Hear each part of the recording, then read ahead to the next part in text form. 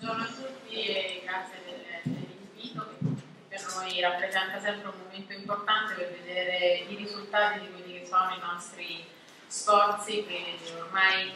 da anni facciamo per andare a finanziare il meglio di quello che sono le proposte di questo paese emergono. Perché io sono Maria Novella Luciani, qualcuno di voi conoscerà il mio nome perché in qualche maniera ha avuto con me eh, a che fare con la ricerca finalizzata soprattutto questi anni. Mi occupo appunto dei, bandi della ricerca del Ministero della Salute e mi occupo quindi sono nella direzione generale della ricerca e innovazione in sanità, che adesso è stata ha cambiato di nome da poco, ma ha cambiato di nome ma per, proseguire su una filosofia che è ormai consolidata da qualche anno. La cosa che ci tengo di più a dire è che io rappresento colei che strappa e porta via 1% del Fondo Sanitario Nazionale, perché questo è dedicato alla ricerca sanitaria di questo Paese, e, e, e ne ha eh, la responsabilità di usarlo al meglio e abbiamo una unica filosofia, quell'1% che noi prendiamo dall'assistenza ai nostri cittadini noi lo prendiamo per utilizzarlo al meglio per migliorare l'assistenza dei nostri cittadini, per qualificarla sempre di più e per renderla più omogenea sul suo territorio. Quindi questo è molto in linea con quello che voi avete fatto, avete partecipato a questo lavoro perché è la valutazione della qualità delle strutture ospedaliere,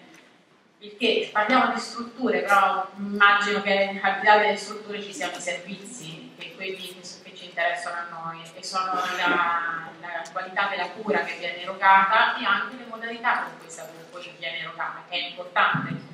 E questo vi rientra a ricordarvi qual è il nostro principio. Non siamo più il Ministero della Sanità noi, ma siamo il Ministero della Salute e la salute si compone di tanti aspetti. Un aspetto è sicuramente quello della certezza della cura, però un altro aspetto è sicuramente il come questa cura la eroghiamo e quanto siamo vicino ai nostri eh, ai pazienti e ai cittadini.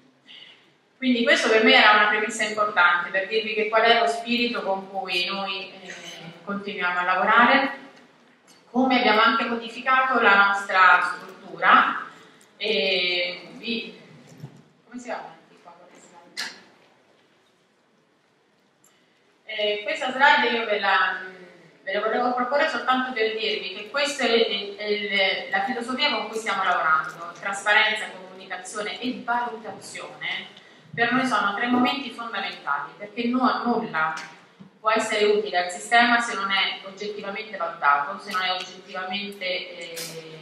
conosciuto, se non è trasparente a tutti e se non viene comunicato, perché soltanto dalla comunicazione e dalla... quindi non bisogna aver paura di essere misurati, bisogna avere eh, il coraggio di essere sempre, costantemente eh, in in evoluzione. Quando adesso il direttore Bever ha detto che siamo in capovolgimento, in modifica, in realtà io dico che siamo in crescita, come sempre, ogni, ogni modifica deve servire a crescere il sistema. Però io mh, vorrei partire da questo presupposto per dirvi che la qualità della ricerca sanitaria di questo paese, di cui noi siamo eh, diciamo, i, i sostenitori economici, eh, abbiamo poi, diversamente da quanto si può immaginare o pensare, delle grandi, delle grandi eh, soddisfazioni, perché come vedete queste sono semplicemente due graduatorie che vi voglio far vedere per dirvi come si posiziona l'Italia a livello mondiale nella ricerca sanitaria e biomedica, perché la ricerca biomedica non ha nulla da invidiare rispetto a altri tipi di ricerca, siamo sempre all'avanguardia, al di là di tutto quello che noi produciamo, anche delle persone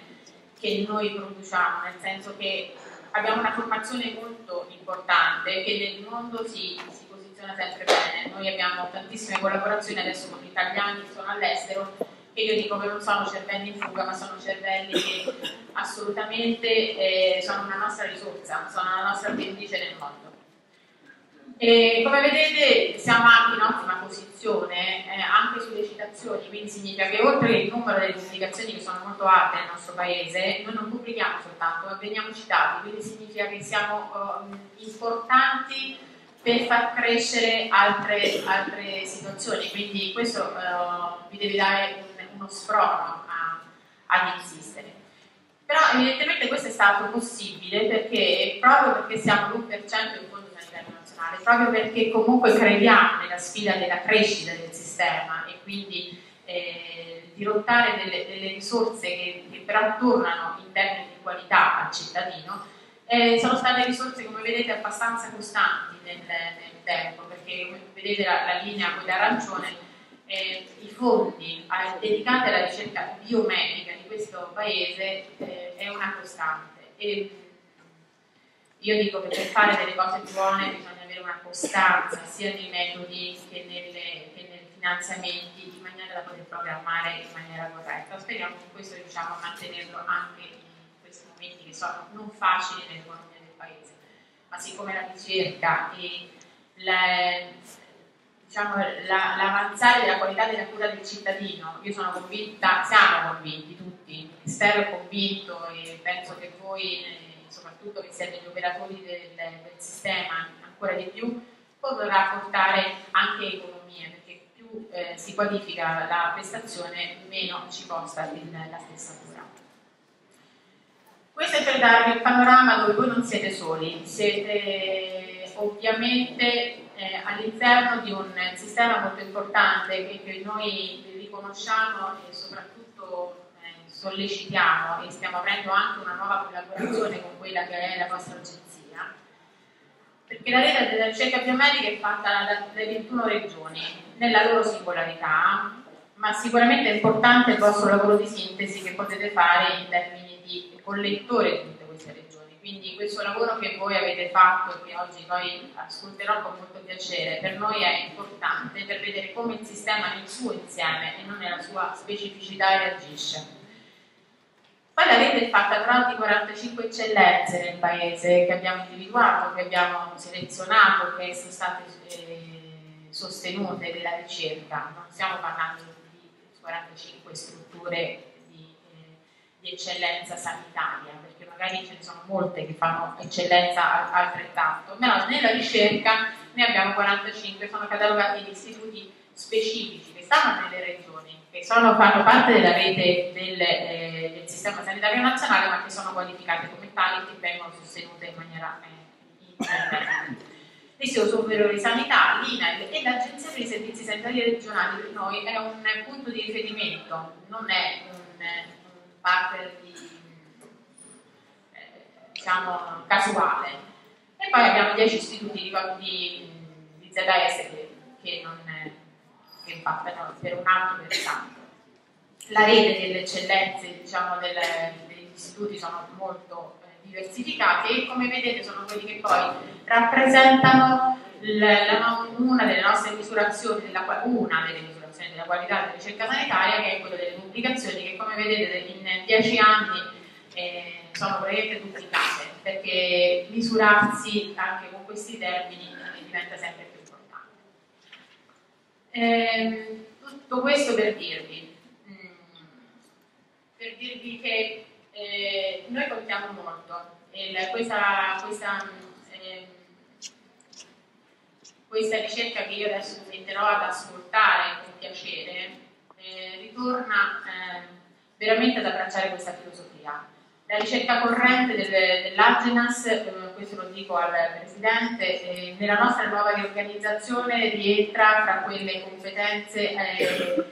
insieme alle altre ricerche eh, correnti eh, che noi destiniamo agli altri destinatari istituzionali. Questo è un, un momento importante perché significherà fare programmazione insieme, significa condividere dei, dei percorsi insieme e, e questo ci dovrà aiutare soltanto in una visione, nel miglioramento del servizio ai cittadini. Quindi la vostra misurazione sarà importante e quindi quella che loro percepiranno ci sarà utile per migliorarci sempre. Allora buon lavoro a tutti quanti.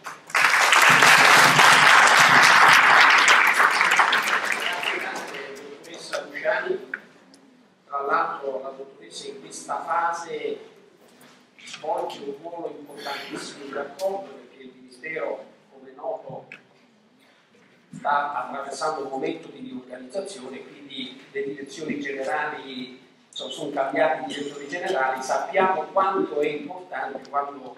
alcuni dirigenti di grande esperienza come la dottoressa Luciani siano fondamentali anche per consentire la continuità di alcuni eh, progetti. Desidero innanzitutto leggervi una nota che mi ha fatto arrivare il Ministro, perché il Ministro mi ha chiamato ieri dicendomi mi raccomando non dimentichi di portare i miei saluti. E io naturalmente, Ministro, ci mancherebbe altro,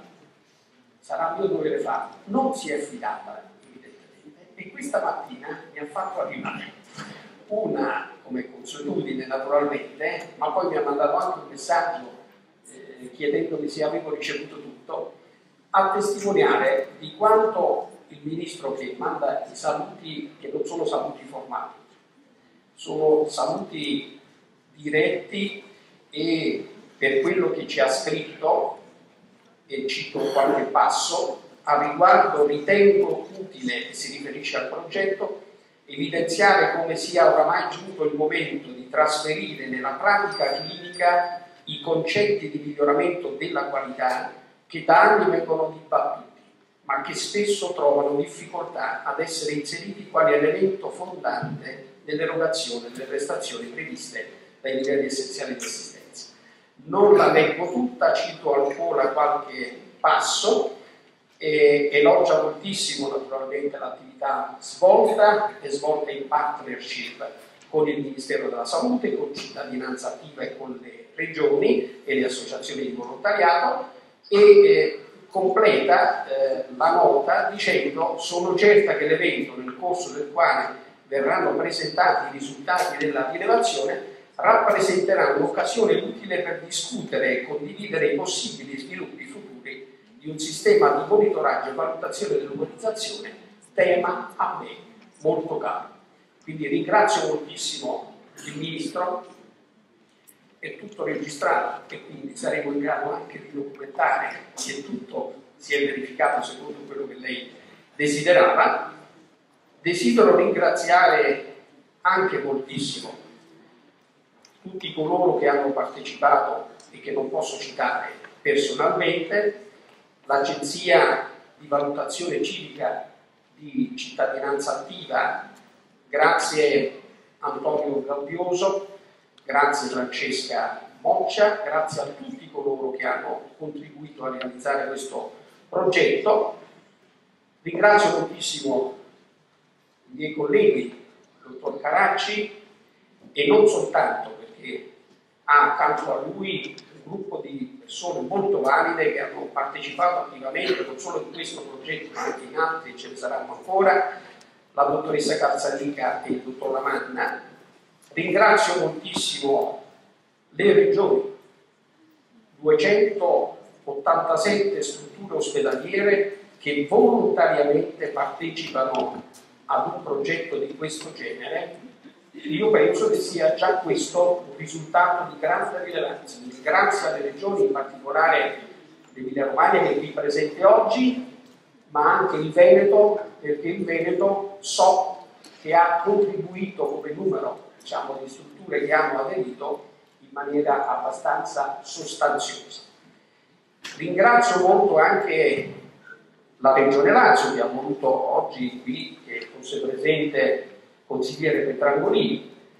e che ringrazio per la partecipazione e anche naturalmente per un collegamento eh, che è fuori luogo eh, ricordare con tutte le azioni svolte anche precedentemente. Bene, adesso che ho salutato, cerchiamo di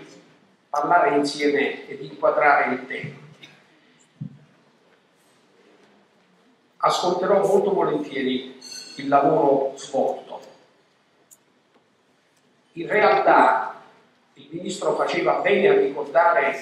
che il tema è molto caro, sia a lei, sia alle regioni e anche a tutti i presenti.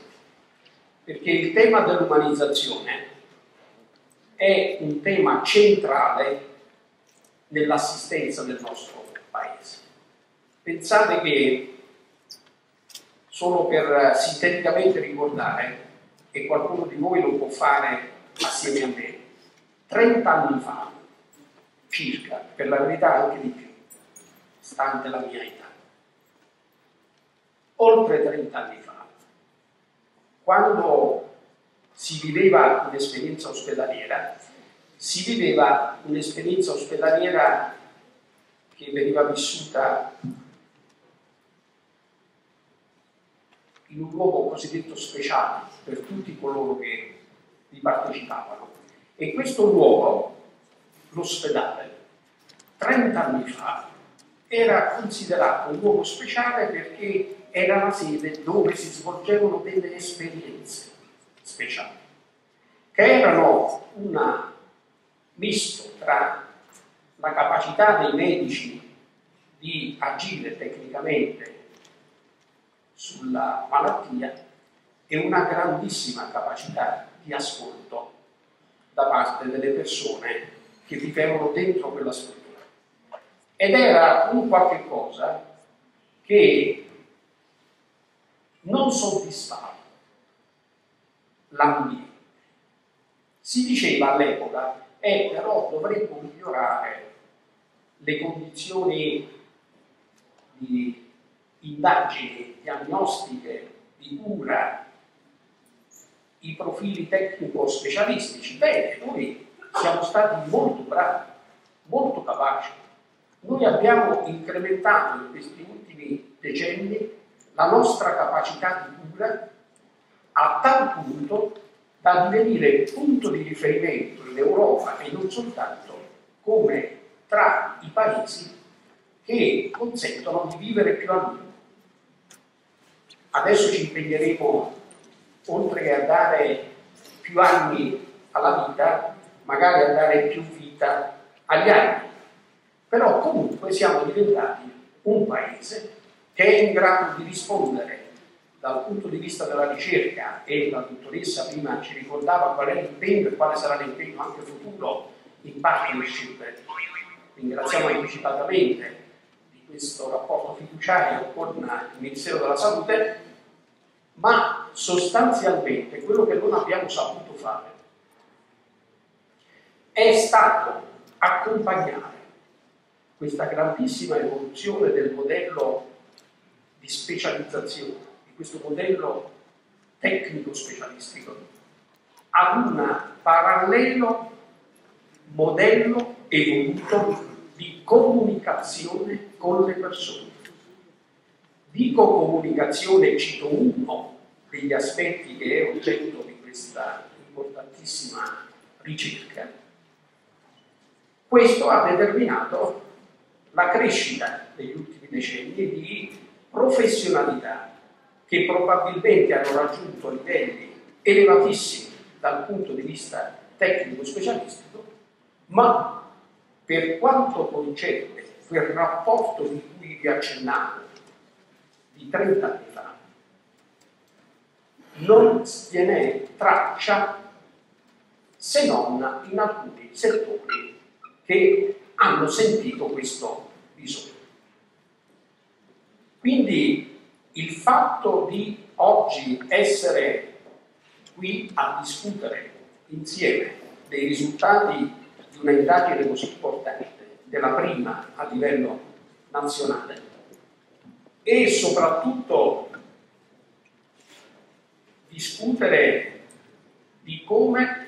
evidentemente far ritornare il sistema a raggiungere un equilibrio stabile tra l'elevata capacità tecnico-specialistica che abbiamo raggiunto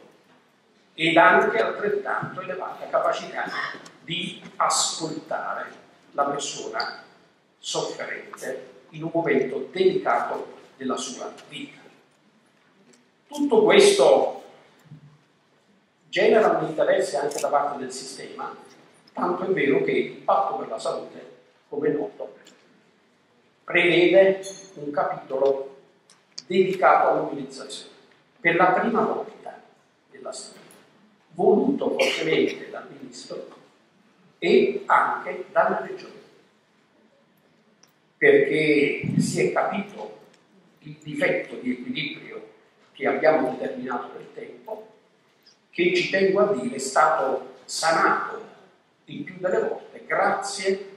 all'attività di associazioni di volontariato, di associazioni dei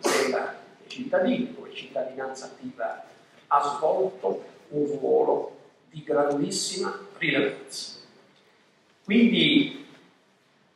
il futuro è che questo progetto e questo modello desideriamo portarlo in Europa.